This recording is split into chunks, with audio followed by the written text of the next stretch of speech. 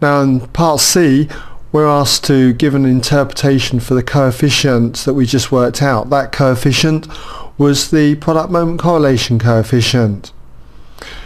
So what it is, is basically that uh, if we just go back to what it represents from a, the point of view of a scatter diagram, if we had y plotted against x, we'd find that we've got a scatter diagram with points that are negatively linearly correlated, something like this.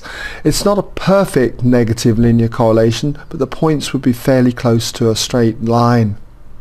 So what this is saying is that since y represents the temperature in degrees C of the European town, and x was the height in meters of that European town, you can see that as the height increases, the temperature decreased. So that would be the meaning that they're looking for. So as height, we'll just write it in anyway, as height increases, we've got that the temperature decreases. So nice easy one there, okay? But they want a description in in the context of the question, okay?